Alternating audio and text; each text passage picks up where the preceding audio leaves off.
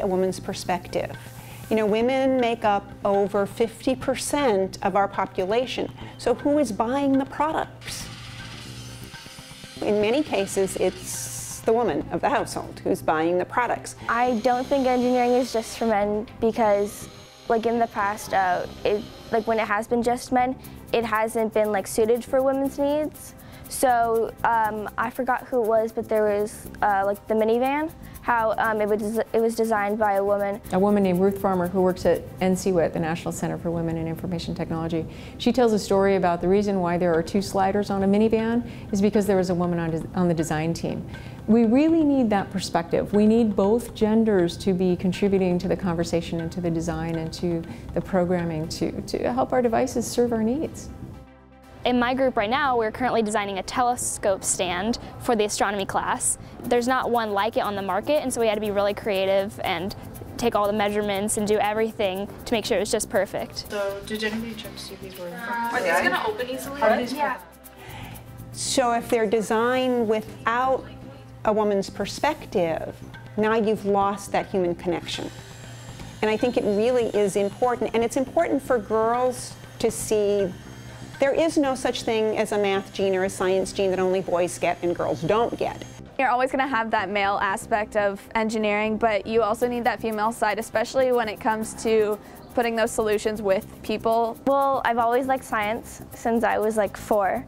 Um, and my and I saw on the class list that I can take engineering, and so I decided to do that, and it's really fun.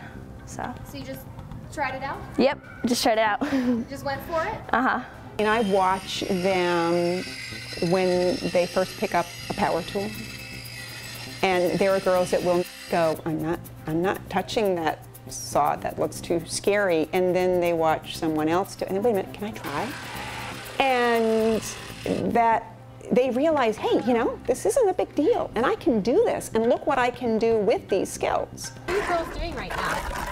Um, we're making pervious concrete for the, um, well actually we're doing a, like we're making a pervious concrete paver because we are working with the um, sundial team and making their um, actual sundial with pervious concrete. The whole world is open to the young women now. Uh, they've always had the ability. I just don't think they've necessarily had the opportunity, and they're taking that opportunity now. Girls can do just you know an equal job in engineering as boys can, um, and you've seen them. They uh, they get right into it. They're really interested in, in working in engineering. So is that like ease? Like yes. ease of use or ease efficiency? Yeah, that's pretty much the same. That, so is it like fast efficiency? So people can move yeah. through it. Mm -hmm. I think women bring a different perspective of all kinds of education. Uh, there's a sensitivity and a creativity that uh, I think complement what the men uh, bring to it, and I think is absolutely needed. To know that you can do anything you set out to do. I think that it's really important for women to be in the engineering field because so far we haven't had that many opportunities as women girls just haven't had the opportunities that boys have had, and the traditional roles um, have been male focused. And the you know the stereotype, oh, I'm not good at math because I'm a girl. Um, we need to really get rid of that because it's not true. Ask, uh, read, uh, take some classes. Know that you are just as prepared to be an engineer and to get into the world of STEM than any young man is, and go for it. Frankly, I think women can do everything a man can do, so why not, you know? Try it.